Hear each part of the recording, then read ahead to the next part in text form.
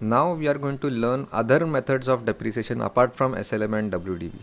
So these methods will help you to calculate the amount of depreciation the way we calculate in SLM and WDV with but, but with some different methods of calculation. The first method of depreciation is sum of years digit method. Before learning this method, let us try to recollect the concepts called simple average and weighted average. Let us take an example that I have three figures 4000 5000 and 6000 if I want to take the simple average of it I'll take simply take the total of all the three divided by 3 and I'll get the simple average of 5000 if I want to calculate the weighted average of the same amounts then what to do?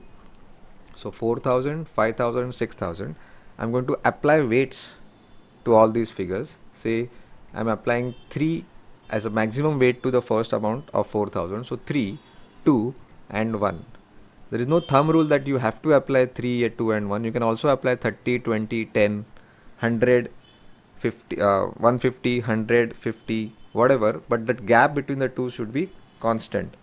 That will not change your ultimate answer. So we calculate the product. Product is nothing but the amount into weights. So 4000 into 3 12000 5000 into 2 2 10000 and 6000 into 1 6000 now let us take the totals of weights which comes to 6 and total of product which comes to 28000. Now weighted average calculate to calculate weighted average we say total of product divided by total of weights which is equal to 28000 divided by 6000 which comes to 4666 this is the weighted average so can I say that simple average and weighted average has the only difference where in simple average we also applied the weights but the weights were equal. So I applied 111 to 4000, 5000 and 6000 and therefore the total of weights came to 3 and therefore I divided by 3 whereas I applied different weights in weighted average and therefore we, I have to calculate product separately and the total of weights came to 6. So this is the difference between simple average and weighted average. Now why are we discussing this in the chapter of depreciation is because sum of years digit method I would have loved had it uh, called it as weighted depreciation method. This could have been the more appropriate name for this method because we are going to simply apply weights to the amount of depreciation. The, the weights will keep on changing every year and therefore the amount of depreciation will also be different for each year. Let us take a look at an asset which has got a useful life of 5 years. So the name says sum of years digit. So what are the years digits here of the useful life. It's 5 4 3 2 and 1 if you take the sum of the years digits so 5 plus 4 plus 3 plus 2 plus 1 comes to 15 15 is called as SYD factor which is nothing but the total of weights. If we use 5 4 3 2 1 as weights then we get a total of weights as 15 which is technically known as SYD factor or sum of years digit factor.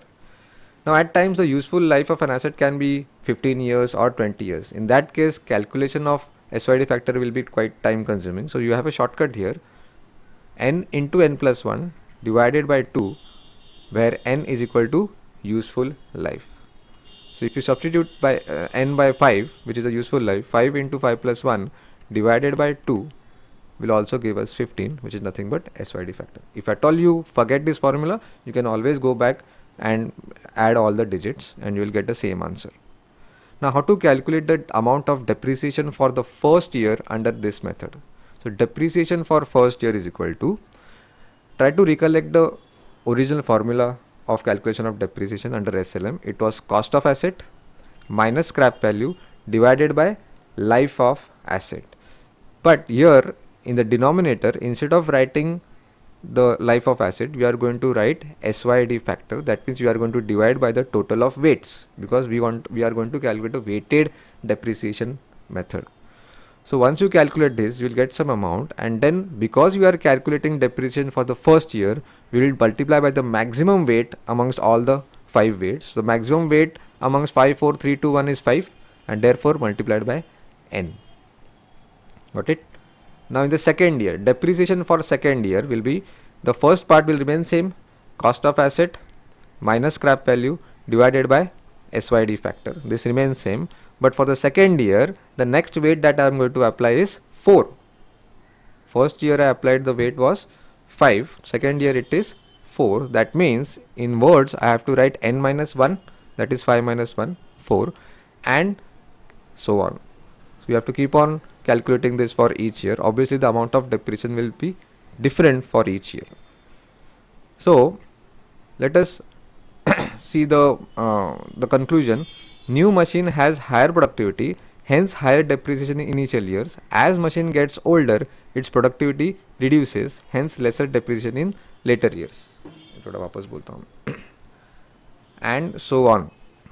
Now let us try to understand the logic behind this method we applied higher weights in the initial years and we applied lesser weights in the later years. The logic behind this is that when the machine is brand new, when the machine is uh, newly bought, its productivity or efficiency is very high and therefore it will be used for a longer period and hence higher depreciation should be charged in the initial years and therefore we charge highest weight in the first year. As the machine gets older, its productivity reduces and therefore lesser weights in the later year. So can I say new machine has higher productivity, hence higher depreciation in initial years.